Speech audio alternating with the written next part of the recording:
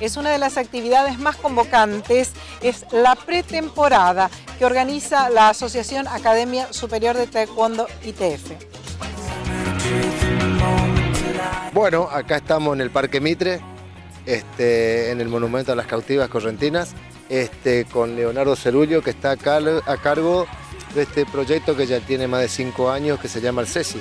Es un centro de entrenamiento superior para ingresos, donde se hacen trabajos de, de todo tipo, natación, fuerza, reacción, este, bueno, buscar el mayor estado físico para aquellos que quieran ingresar a la fuerza, al profesor de educación física y de paso para aquellos alumnos de taekwondo que aprovechan esto como pretemporada para encarar su competencia anual de taekwondo. Con un saldo más que positivo.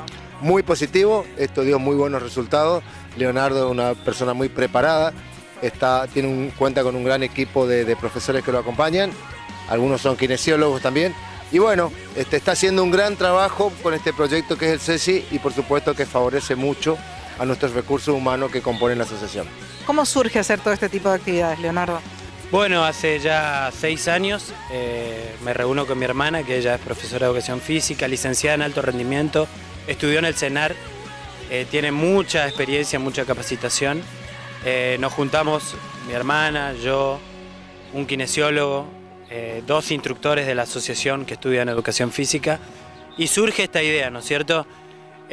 Imagínate, año tras año, también con los objetivos de taekwondo, que eh, potencian lo que, el entusiasmo para realizar una pretemporada y este año mucho más, ya sabes el calendario competitivo que tenemos eh, y sobre todo con eh, el evento trascendental que es el Campeonato Mundial, entonces hay un gran entusiasmo por, por los jóvenes para prepararse bien y obviamente aprovechan esta temporada, diciembre, enero y febrero para físicamente ponerse a punto. La puesta a punto es fundamental.